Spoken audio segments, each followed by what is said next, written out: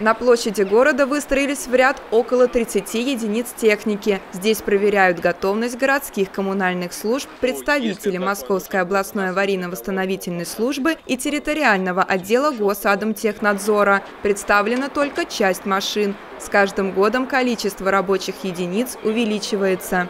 С учетом того, что техники прибавилось в каждой из здесь представленных организаций, то с большой долей вероятностью, что коэффициенты покажут снова готовность эксплуатирующих организаций к зимнему периоду.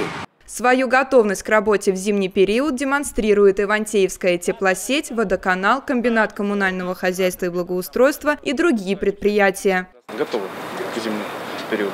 Контейнера? Контейнера обеспечены полностью. Оценивающая комиссия проверяет не только крупную технику, но и малые инженерные приспособления, которые в случае необходимости понадобятся для проведения аварийно-ремонтных работ.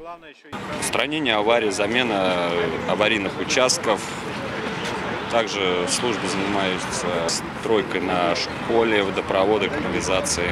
По результатам смотра будут выставлены оценки, определяющие готовность предприятий к работе зимой. А пока комиссия отправляется в подразделение коммунальных служб, чтобы проверить укомплектованность штатного расписания аварийно-восстановительных подразделений, оснащенность их техникой и оборудованием, а также материальное обеспечение.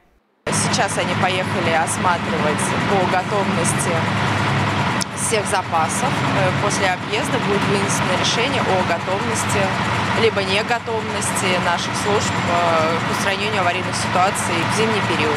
На момент выхода сюжета в эфир стало известно, что коммунальные службы Ивантеевки полностью готовы к зиме. Ольга Мариничева, Антон Рябов, программа «День за днем».